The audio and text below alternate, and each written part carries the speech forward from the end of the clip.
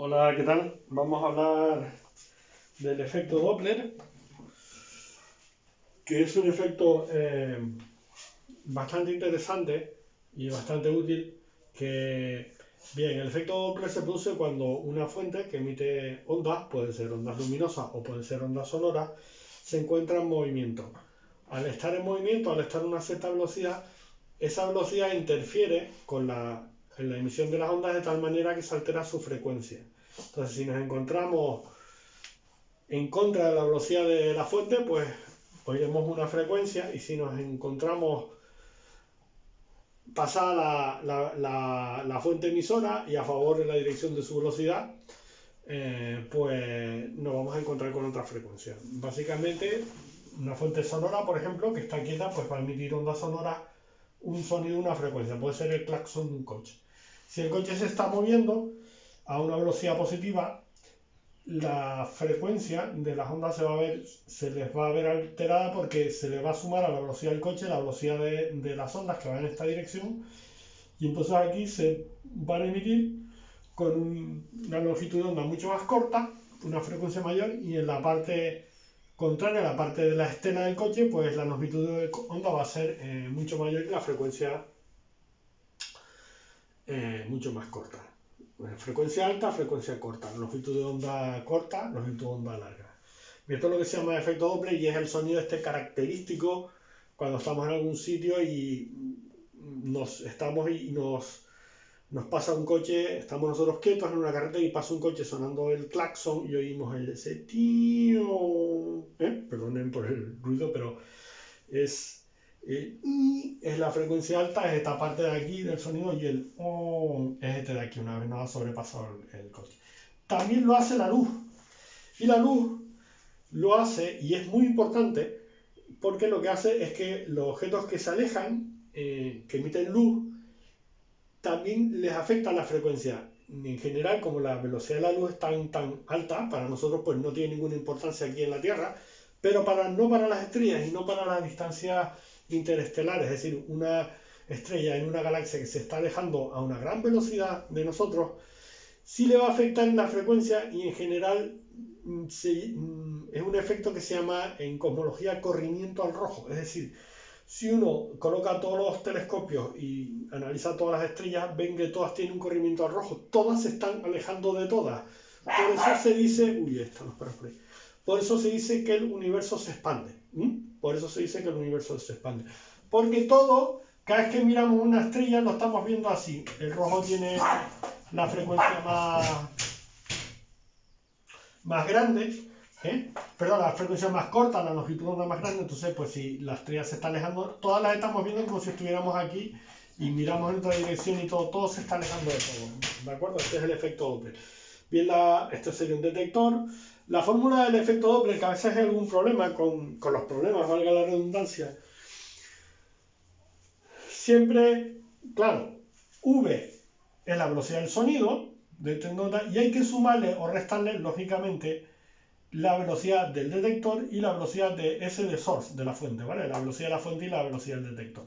Y aquí se coloca siempre la emitida, la original, y esta es la detectada. Entonces, hay que tener cuidado eh, un poco los problemas, ver cómo exactamente qué es qué. Sobre todo los problemas eh, que son así más interés, bueno, uno de los sistemas más interesantes de, la biología es el del murciélago, que usa ultrasonidos, piensen que son ultrasonidos por encima de, de los mil hercios, que le permiten dirigir como una linterna su fuente sonora para ver perfectamente todo, es como él tiene como una linterna que va viendo, porque le vuelve el eco con el ultrasonido, pero como es ultrasonido, no se difracta, ya sabemos lo que es la difracción, y puede hacer un mapa perfecto de todo. Entonces lo usa también para cazar. Y uno es el murciélago. El murciélago emite un ultrasonido, lo, tengo aquí exactamente 82,52 kilohercios. Kilohercio. El kilohercio son 10 elevado a 3 hercios, 1000 hercios. Entonces, fíjense que la voz puede estar en orden de los 1000 hercios, estamos ya en la zona de, de ultrasonido. Un orden o dos órdenes por encima eh, de, los sonidos de la voz humana. Bien, pues la velocidad del sonido, eh, que la teníamos por ahí alrededor, depende de la temperatura, de la densidad del aire, muchas cosas, pero en general es 331 metros por segundo. Bueno, eh, he visto que por aquí en el libro de esto pone 341. Bueno, depende, depende de la densidad, la altura, la temperatura. Bueno, vamos a hacer como está el libro, 341 metros por segundo. Esa es la velocidad del sonido. Entonces, vamos a hacer el siguiente problema, que está bastante curioso. Yo tengo aquí un murciélago, vamos a pintarlo así.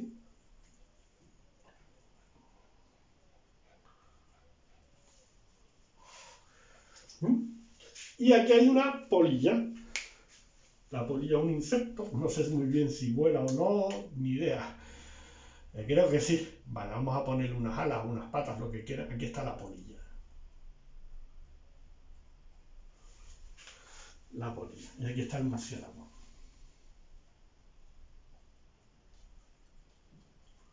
Vamos a empezar a... Estos problemas son un poco liosos de hacer. Entonces vamos a suponer que el murciélago avanza hacia la polilla a una velocidad pues razonable para un vuelo de un animal que son 9 metros por segundo. 9 metros por segundo.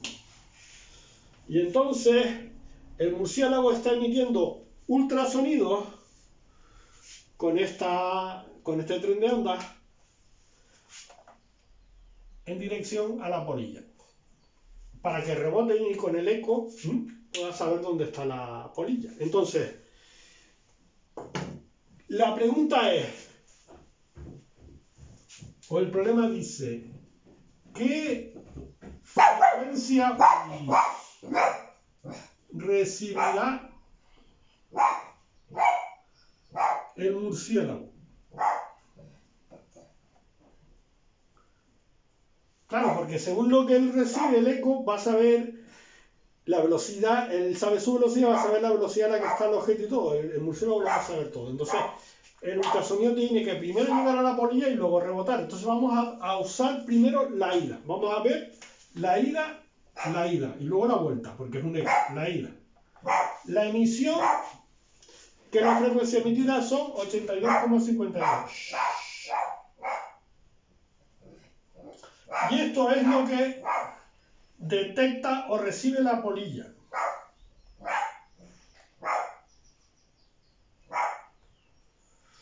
Entonces,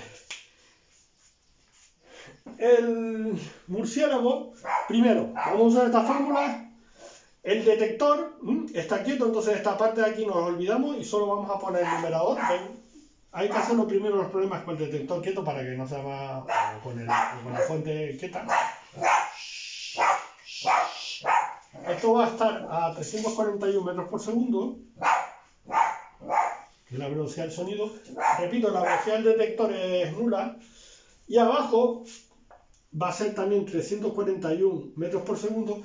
Y la velocidad S de source de la fuente, la velocidad de la fuente, como está en la dirección de, de, esta, de, de, la propagación va a ser negativa.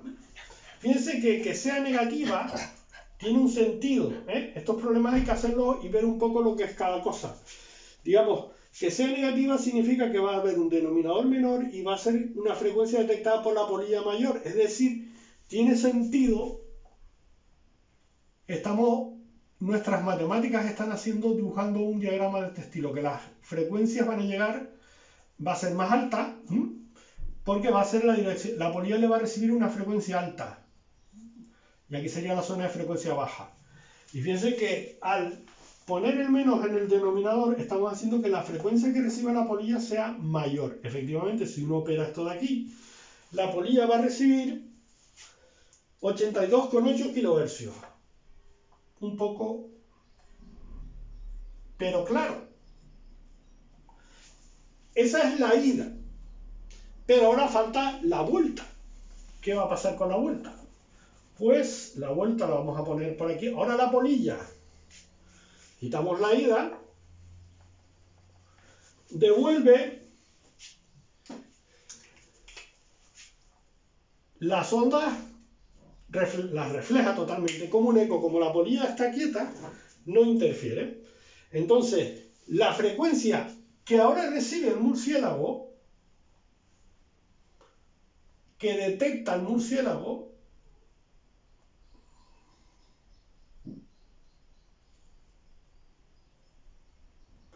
tiene que ser igual a la frecuencia emitida por la polilla, que va a ser la misma que, que recibió, porque la polilla es como un espejo. Entonces la polilla va a emitir 82,8, no 82,5, porque ella recibió 82,8 y ella recibió el efecto de la velocidad del murciélago.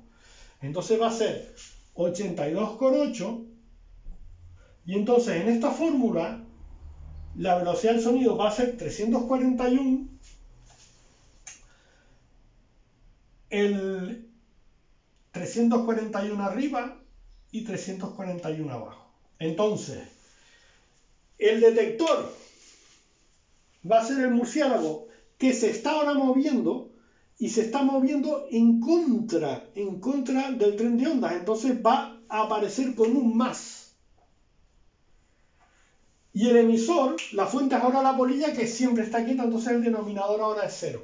Entonces fíjense que va a aumentar otra vez la frecuencia que detecta el murciélago. Claro, porque es que el murciélago va, la, esto está rebotando en esta dirección, pero el murciélago encima va en contra. Entonces va a ser una frecuencia todavía mayor. Es decir, la frecuencia que va a detectar el eco va a ser de 83 kHz. 83 kHz. Y esto tiene una eh, buena lógica, es decir, Piensen lo siguiente. Eh, vamos a borrar aquí.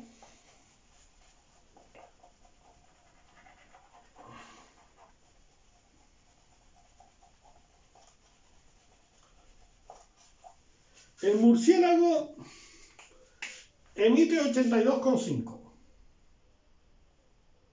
Emite. A la pared. La pared devuelve 82,5, que es la polilla que refleja que está quieta. Pero claro, el murciélago, al moverse en esta dirección, al volver, él va a detectar 82,8.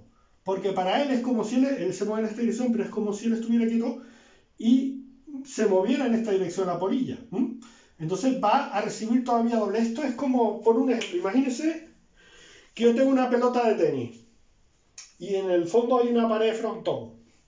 Yo corro hacia la pared frontón y lanzo la pelota. A la velocidad de lanzamiento hay que sumar la velocidad de mi carrera. Y la pelota va con las dos velocidades. Choca con la pared del fondo y rebota. Rebota a la misma velocidad, es un choque elástico. Pero yo sigo corriendo y a mí me va a llegar todavía la pelota a más velocidad de la que la lancé incluso. ¿Lo ven? ¿Eh? Porque me muevo en contra. Entonces, estos problemas hay que pensarlos un poco, los efectos Doppler, pero son bastante interesantes. Yo, de lo que he leído, una de las cosas que más me ha alucinado de realmente que, que si uno se para a pensar te quedas patidifuso. La polilla, que es un insecto, para sobrevivir, tiene un sistema que emite unos, em, unos eh, pulsos de ultrasonido de tal manera que el murciélago cuando le devuelve la señal se la distorsiona para camuflarse. Me quedé impresionado. Es un insecto. O sea, ustedes piensen lo siguiente. A ver, eh, yo sé que soy un pesado con el tema de los... Con el tema del... Bueno, es interesante. El, sonar del submarino que se basa exactamente... El, el, el efecto Doppler lo usaba el murciélago antes del submarino, ¿vale? Entonces, aquí hay un submarino de ataque ya que hay un submarino boomer, un, submarino de la clase tifón lleno de misiles balísticos, ¿vale? Y el submarino ataque, pues lo detecta, vamos a separarlo un poco, y entonces con el sonar emite unos sonidos, tiene unos sensores, bueno, es una tecnología tremenda, rebota, vuelve y lo detecta. Entonces le lanza un torpedo, como las comunicaciones electromagnéticas son malas dentro del agua, no, no funcionan bien las señales de radio, pues los torpedos tienen un sistema que detecta las palas, los palazos de la hélice del submarino y para si se desvía, mm, el tiene un pequeño sonar, va a buscar la pala para, dar con el submarino y, aniquilarlo, ¿no?